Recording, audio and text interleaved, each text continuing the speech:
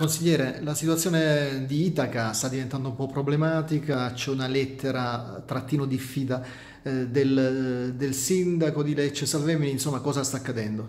Il piano di zona ha comunicato a, tutti, a tutte le famiglie che usufruivano del servizio di trovarsi una soluzione diversa perché dal primo luglio non poteva essere più garantita un tipo di assistenza che ci sembra una cosa davvero grave perché era un servizio così socialmente importante e perché poi nel tempo sono professionisti che hanno sviluppato in questi dieci anni un rapporto particolare, professionale, amorevole anche con tutti questi ragazzi e con le loro famiglie, che mi sembra davvero una cosa eh, disastrosa rompere questo rapporto.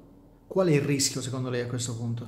Il rischio è che troviamo, è duplice. Il primo è che abbiamo 16 famiglie, nel tempo sono state anche 25 alcuni passaggi, che non sanno come fare ad essere aiutati per gestire il, il disagio che hanno in casa.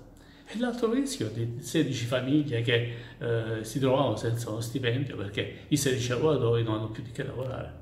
Cosa chiedete al sindaco? Di fare un passo indietro a questo punto? Ma mi sembra che questo debba essere un, un problema risolto dalle, dalle varie amministrazioni. Il sindaco, quindi il comune di Lecce, la regione e l'ASL hanno lo stesso colore tutte quante, quindi sarà anche semplice cercare di trovare un coordinamento e trovare una soluzione a un problema che è soprattutto sociale.